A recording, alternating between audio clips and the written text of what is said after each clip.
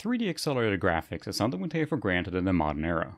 When everything from your gaming computer, consoles, laptops, and even phones handle 3D graphics with ease, it's become an expectation, not the exception.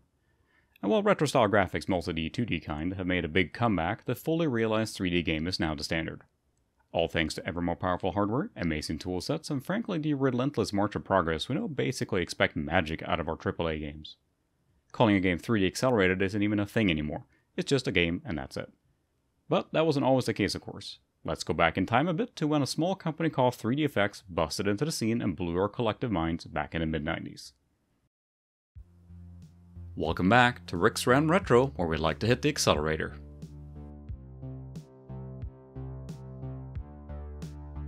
When I was asked to participate in the event of GPU June, I was both pleasantly surprised and immediately thought of what to cover. GPU June is an event where a collection of YouTubers come together to cover GPU related topics for the month of June, thus GPU June. I'll put the appropriate links to the official playlist down in the description for other entries, so definitely check those out for some more GPU centric videos. Which brings us right back to the focus of this video, which is the original Voodoo video card. Launched for consumers by 3DFX in 1996, it started a veritable video card arms race with each version and generation consistently and relentlessly iterating on the previous one, still going to this day. 3D accelerated graphics had arrived and they were here to stay. While it wasn't the very first accelerated card to say they cornered the market was an understatement. Enjoying a wide adoption rate and broad industry support, it allowed their proprietary Glide API to flourish, and around this time launching a 3D game without Voodoo support was not a smart move. Ads for upcoming games proudly and loudly showcased their support for the new 3DFX back standard. It was the video card to have. So what made it so darn special that everyone loved it? And still do I might add, as I think the retro tax on old equipment may be the worst on the Voodoo series of cards, since it's something many of us fondly remember. Just go check the sold listings on any popular auction site and you'll see what I mean. I can't speak for everyone else, but when I got this very card, yes I still have it and I use it, I was totally and utterly blown away. After running GL Quake the first time, I specifically remember exclaiming out loud, I can't even see the pixels. Looking back at it, sure that's a bit of an overstatement, but that's how groundbreaking it was for me. It was something I just hadn't experienced up to that point, and here it was installed in my very own computer. It opened up an entire world for me and would decide my gaming experience for years to come. The actual card in question is the Orchid Righteous 3D that I spent my own saved up on cash on back in 1996.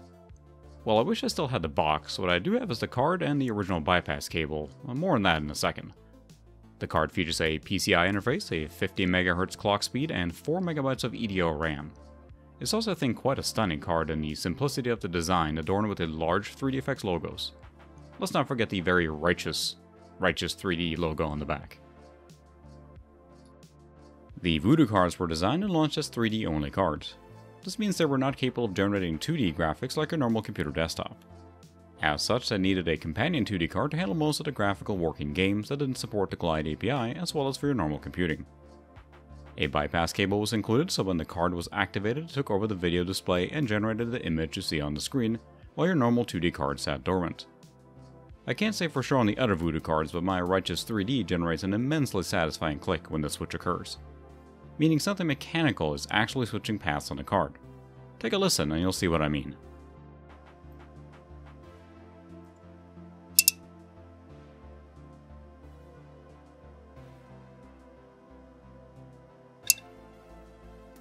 When you heard that click, you know it was go time.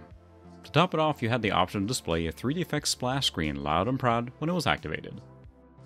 To truly experience this era again, I'm fortunate to have nearly the same computer I had back when I originally bought this video card, and that's this AST Advantage 8100p. While not the exact model I had, it's extremely close. I've covered this computer previously in a series, so take a look up here if you want to follow along the evolution of this machine for my use. In short, it's currently housing an Intel Pentium overdrive processor, clocked at 166MHz, 80MB of RAM, and an S3 ViRGE 4MB video card. Pairing a S3 video card with a Voodoo may be one of the most classic combinations for true PC gaming bliss for the mid-90s era. With our system ready to go, let's take a look at some games. But just before we do that, I wanted to mention something that made me think as I dove headlong into injecting raw nostalgia into my veins. Voodoo graphics, I think, are something special when you consider the time period, and that's key here. Perhaps the raw, softer, rendered pixelated looks more aligned with the retro aesthetic one might expect, but seeing blended texture was for the time not really done on any broad scale yet was exciting and new. Yes, the graphics may look a bit washed out at times, and things improved quickly with each new generation of video cards. I just ask you to keep in mind what sort of graphics we had before 3D acceleration entered the mainstream, but above all, what time period we're looking at. This is what we were used to, which was great, but it was, at least for me, one of the biggest generational leaps in graphical performance I had experienced. Let's get to those games and we'll see what I mean. I'm running the games in the same resolution between software as well as accelerated modes, which means 640 by 480. This is no surprise and probably the first game you think of when you talk about Voodoo accelerated graphics. GL Quake was a total eye-opener for me and truly showed me the real power of this sort of setup. A later Pentium processor really does struggle to produce decent frame rates at 640 by 480 in software mode and you likely didn't play it like this. The trade-off with visual fidelity versus a smooth frame rate is just not worth it. However, if you want to eat your cake and still have it, this truly sings when switching to the Voodoo graphics. Just about all the hitching and slowdowns are gone, experiencing this, you knew it was the future. Playing this game again something you really do notice that, boy, they sure like the color brown, huh?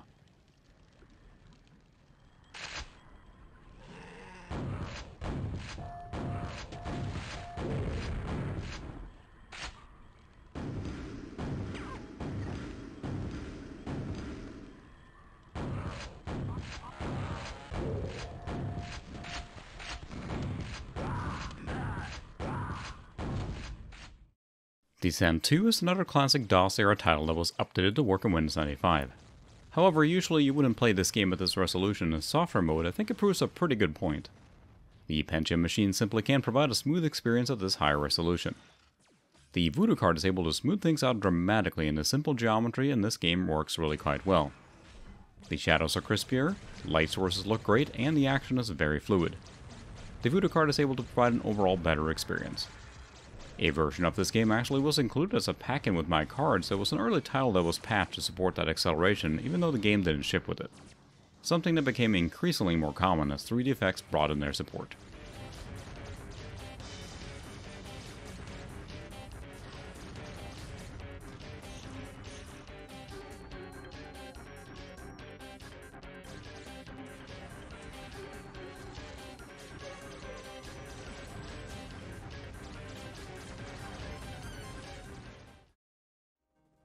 Another game that's rooted in the DOS era, the vehicle-based shooter action game Extreme Assault isn't bad in software mode, but you were looking at a pretty beefy machine for the time to be able to produce smooth frame rates.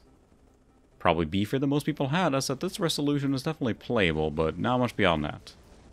That changes dramatically switching to Voodoo acceleration, and while some of the details are lost, there are some texture shimmering issues at the seams, the upgrade is definitely noticeable. Smoother, easier to control, and overall much more enjoyable experience, although there's no denying that with so little terrain detail, it's all just a whole lot of green.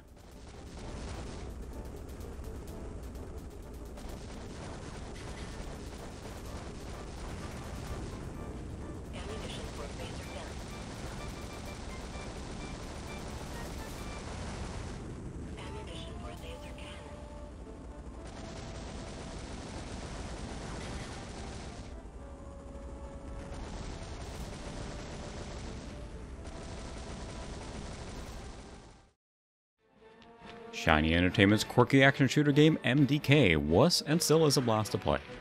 Featuring a wide range of gameplay mechanics, the game keeps it fresh throughout. Running in a software rendering mode, in the high quality mode mind you, you can see it hitches and has trouble keeping up.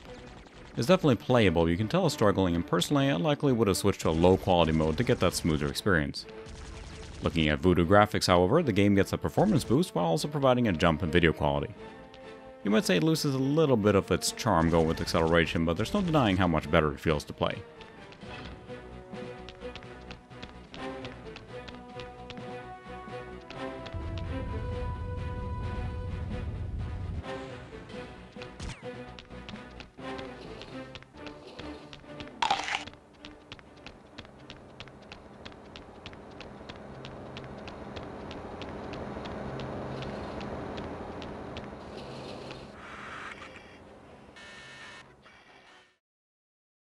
Taking the pace down a bit, Bungie's action strategy game where you command smaller groups of troops in a medieval setting was a big hit.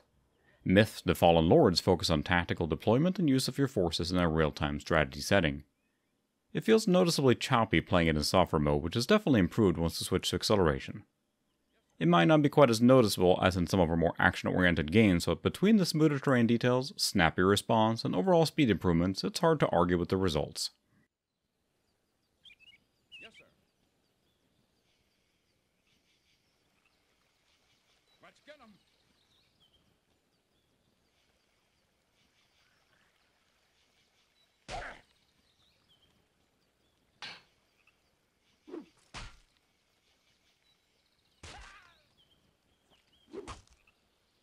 Stay down.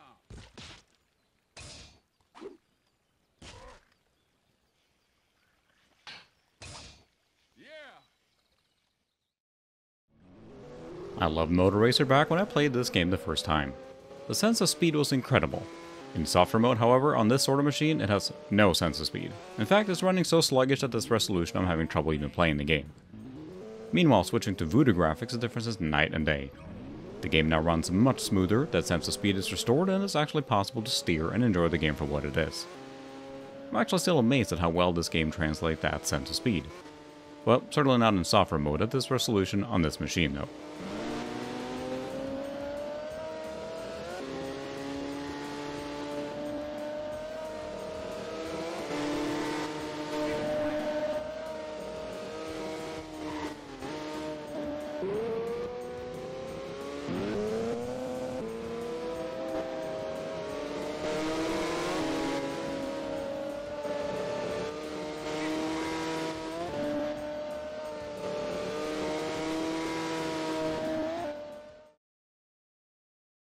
Welcome to Turok on PC in software mode.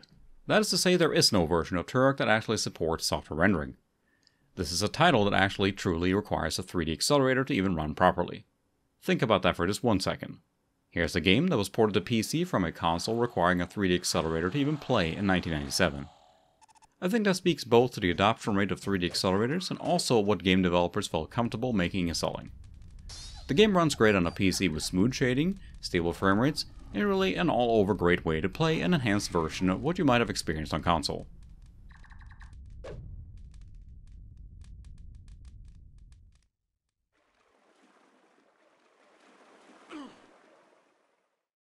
There we have a smattering and a admittedly small selection of games running under Voodoo Acceleration. I can't possibly cover all of them, but I'd be curious to hear if you have any favorites you experienced or saw running on a Voodoo card, so feel free to leave a comment about that. I think for me one of the main things of Voodoo graphics is that it transports me to such a specific time period. 3dfx busted onto the scene with a vengeance, but like so many other things that burned bright, they were gone as quickly as they arrived. Merely a few years after they were started and had achieved wide success and adoption, they ran out of steam, declined in sales, and were bought up by Nvidia. That puts Voodoo supported games firmly into that mid to late 90s era given our nostalgia an anchor, a few short years to look back to. There may never be another time period like it where something so fundamentally changed how we view 3D graphics like when the first Voodoo cards came out. We have 3dfx to thank for that, and know for myself I'll keep enjoying that delightful click and spinning logo as long as I can.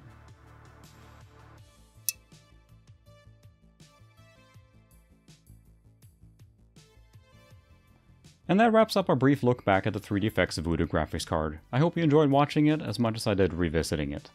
Be sure to check out the other videos participating in GPU June via the playlist linked below, and as always, thank you very much for watching, and until next time.